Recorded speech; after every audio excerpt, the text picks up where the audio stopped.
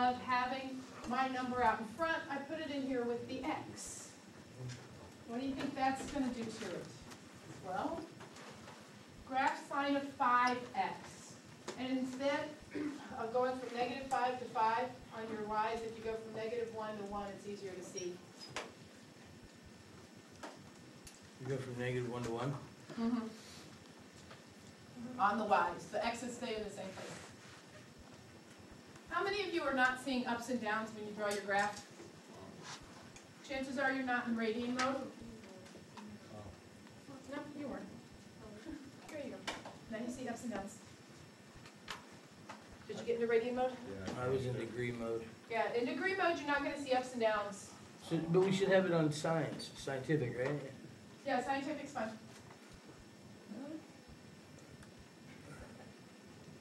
Now you get ups and downs. Holy shit. What- So if you don't see what I'm talking about, please feel free to say something, because Jared or I can come and help you. Jared, is that right?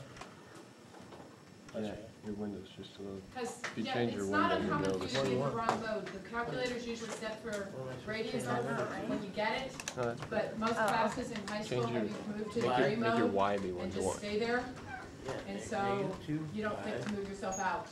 In this class, radian mode is five. the one that we use most often, uh, except when we get to word problems, and then degree Oh, mode's like coming up. that. Yeah, So what go. happened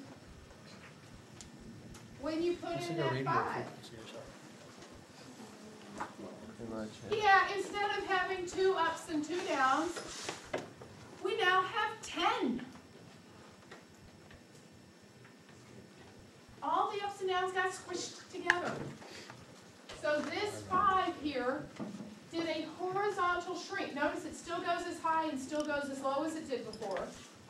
But there's a lot more of them, so it's a horizontal shrink toward the y-axis by a factor of one over that number. So it shrunk it by a factor of one-fifth. In other words, where our screen came up with two ups and downs, our screen now comes up with five times as many ups and downs.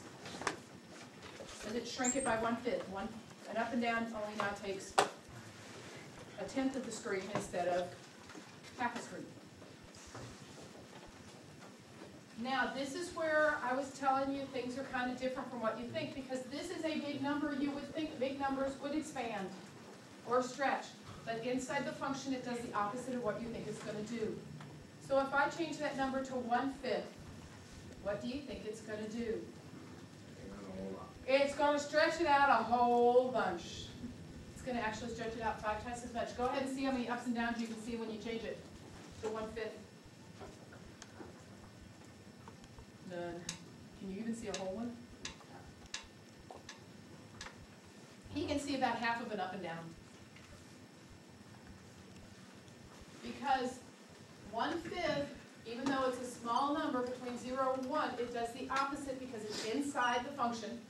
The inside the function does the opposite of what you think, so instead of shrinking, like you think one-fifth ought to, it expands or stretches by a factor of one over c. This is your number c, so one over one-fifth means it stretches to be five times as much as you thought it should be.